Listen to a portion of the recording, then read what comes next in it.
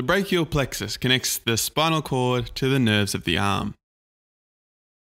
Let's begin by drawing out where the brachial plexus begins.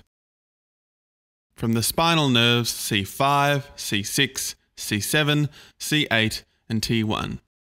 Easiest way to remember that is like the fingers of your hand, from pinky to thumb, 5, 6, 7, 8, T1's your thumb. Where the parts of the brachial plexus end up is the terminal nerves of the arm. We have the musculocutaneous, the axillary, the radial, the median, and the ulnar. The way I like to remember this is Mamu, just like an alien would say. The sections of the brachial plexus we can remember with this mnemonic reach to drink cold beer. That's the roots, the trunks, the divisions, the cords, and the branches. So we have these five start points and five end points.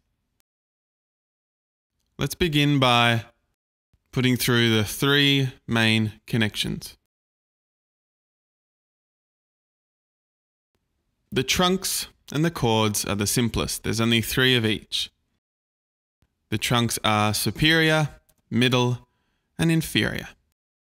The cords are lateral, posterior, and medial. C6 contributes to the superior trunk, C8 contributes to the inferior trunk. Seeing as the middle trunk hasn't received anything, the superior and inferior trunks contribute to it, making this arrow forward. And the middle trunk also throws off a division to the lateral cord, making this X through the top of the arrow.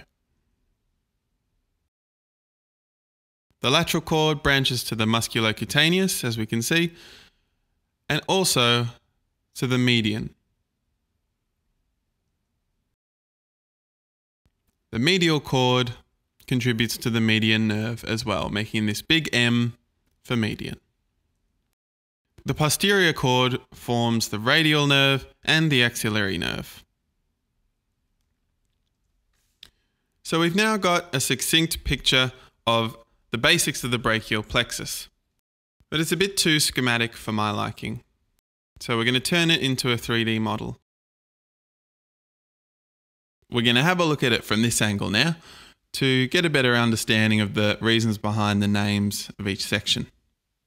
So the trunks are in the same plane as the spinal vertebra, and just as C5 is superior to C7, the superior trunk is superior to the middle and inferior trunks. Next up is the divisions, the names of which I always found a little bit confusing.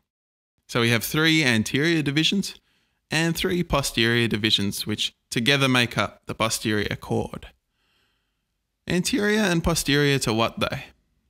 The answer is the axillary artery, which carves through the brachial plexus like this.